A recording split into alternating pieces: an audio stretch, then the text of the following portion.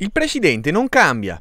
Sarà ancora l'imprenditore Lionello Gorza a guidare il Consorzio Dolomiti Prealpi, uno dei principali sodalizi della provincia, impegnati nella promozione del territorio. Nel consiglio che lo affiancherà va segnalato in particolare l'ingresso di Marco Vueric e Mario Fabrinetti, rappresentanti dell'area del Nevegal. Di recente il Consorzio Dolomiti Prealpi ha di nuovo vinto il bando per la gestione dell'ufficio turistico di Feltre, sportello al quale da gennaio a settembre si sono rivolti 2306 visitatori nonostante la pandemia. Inoltre da quest'estate vengono gestiti anche i punti informativi di Belluno e del Nevegal e da pochi giorni è stata avviata una collaborazione con Borgo Valbelluna per l'ufficio turistico di Mel.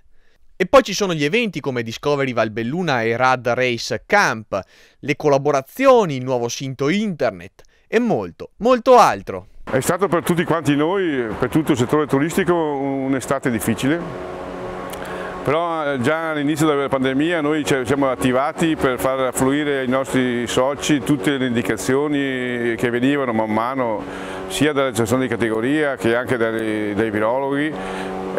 Abbiamo, li abbiamo accompagnati anche eh, all'apertura che non è stata facile e poi credo che quest'estate però tirando una, una, una, somma possiamo essere anche abbastanza contenti, infatti la nostra zona forse per la sua prossimità alla pianura veneta è stata anche abbastanza fortunata.